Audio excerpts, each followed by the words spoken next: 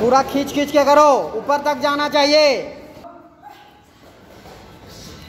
और अच्छा से करो। बहुत अच्छा। चलो चलो चलो चलो। वेरी गुड चलो नेक्स्ट और खींचो। तो आना चाहिए तुम्हारा फोर तक।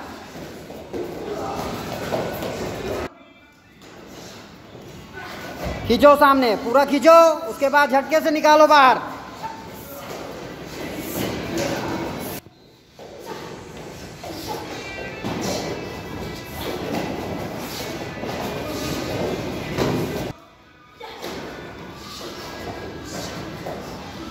वैसे सेम करना है।